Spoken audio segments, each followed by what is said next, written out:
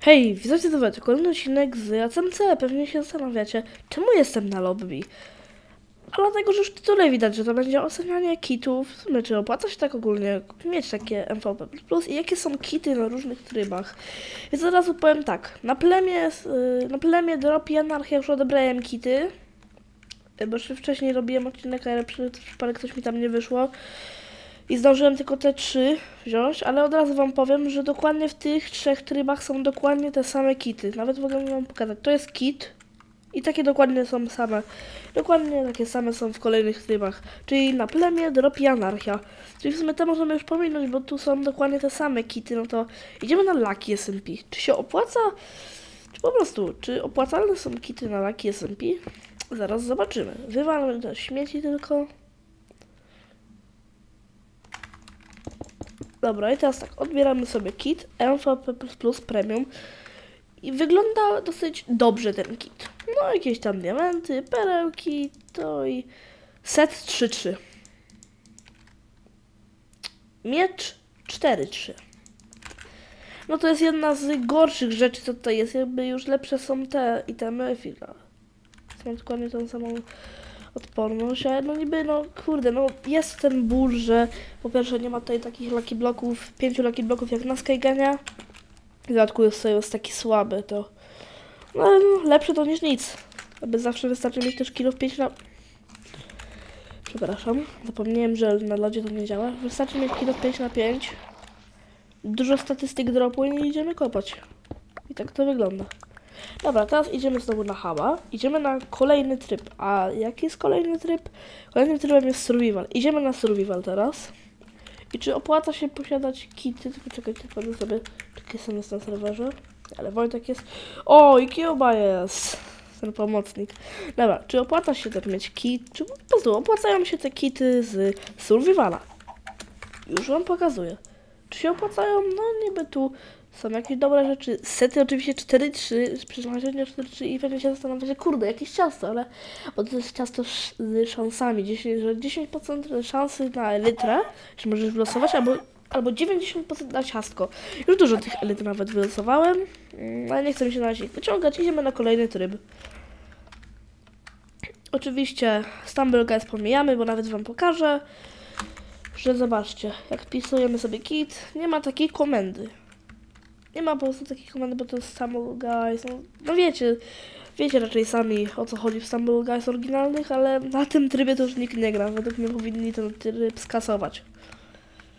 Ta, to, znaczy, to jest moja, to jest moja taka decyzja, że ja bym skasował ten tryb, no nawet nikt tutaj nie gra. Teraz na SW plus Gildia. Czy opłaca się tutaj też odebry... Po prostu są opłacalne kity? Sprawdźmy, są opłacalne. Na pewno 16 ultra bloków. To jest bardzo opłacalne, ale to już można uzyskać jak się ma MVP+.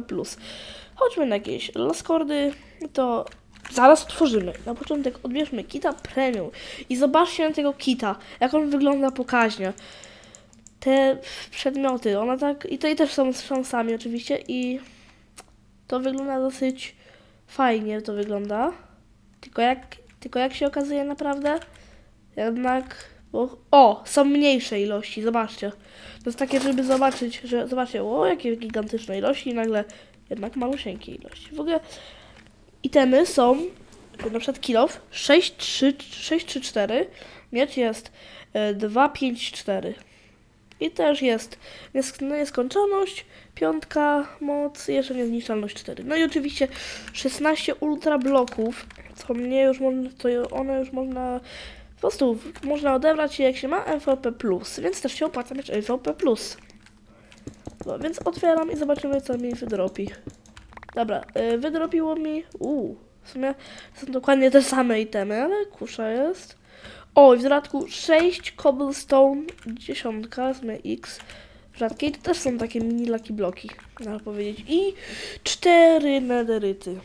Pięknie, pięknie. Tutaj coś jeszcze jest? Nic nie ma, ale jest zwykła niezniszczalność.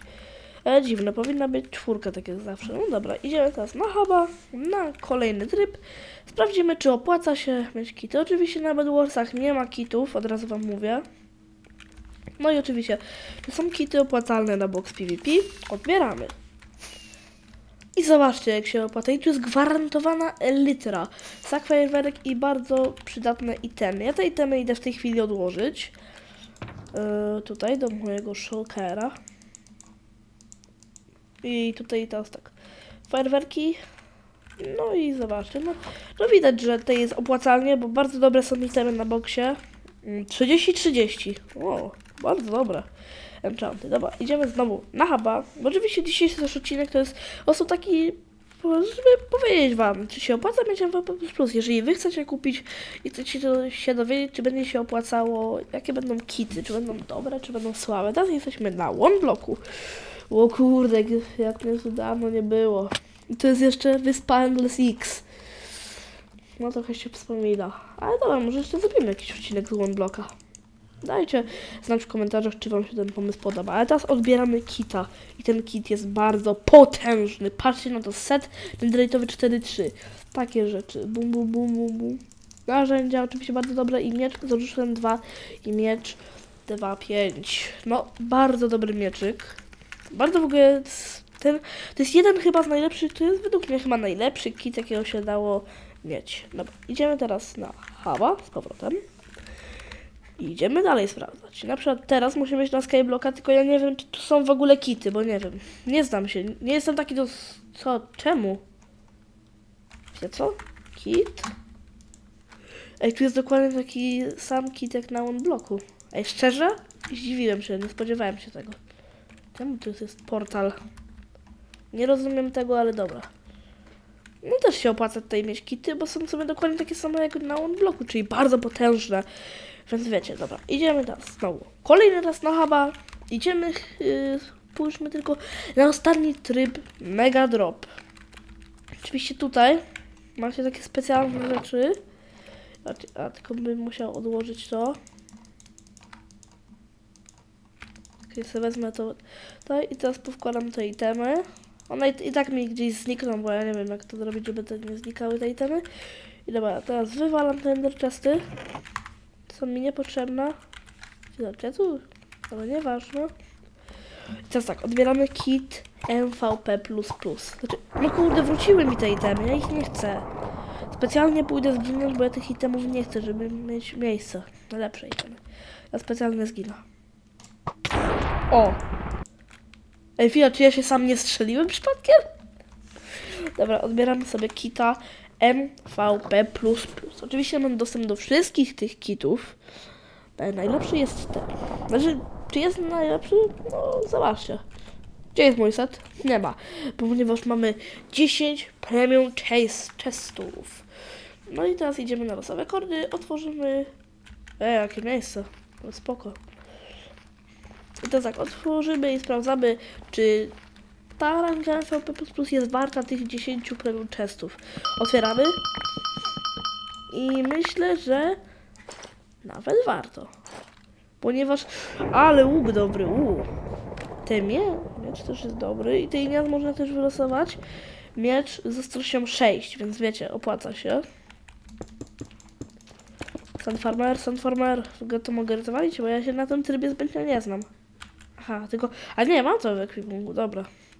Ja się na tym trybie nie znam, przepraszam. Dobra, idę na huba. I ostatni, bo ja myślałem, że to jest ostatni, ale nie. Tu jest przecież ostatni tryb, to to jest Skygen. Idziemy na Skygen 1 oczywiście. I jakie rzeczy są w kicie? Czy się opłaca tutaj mieć MVP+? Sprawdźmy. Według mnie opłaca się. Na start już się dostaje utwardzony ametyst i to zawrotnej ilości. Utwardzony grzyb, też zawrotnej ilości. Blok miodu, zawrotnej ilości.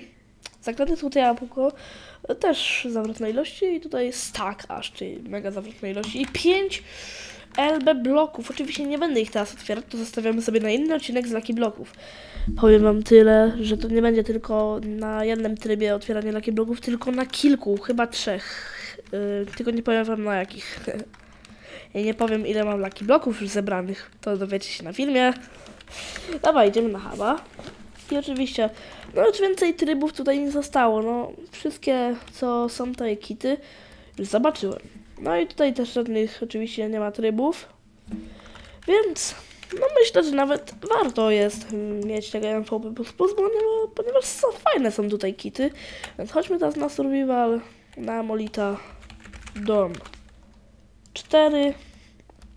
No i jeżeli ten odcinek z oceniania też, znaczy no, miało być ocenianie, tak słabo pooceniałem, ale w sumie powiem tyle, że z tych wszystkich kitów to najgorsze są na drop, plemię i anarchia. Na reszcie jest, no nawet spoko są kity i najlepsze są na Onblocku i, Sky, i Skyblocku, więc wiecie, no i jeszcze Skygen dla mnie jest bardzo dobry, bo 5 lucky bloków. No dobra, to jeżeli podobał Wam się ten odcinek, nie zapomnijcie zostawić łapeczki w górę i suba z łapkiem. Cześć!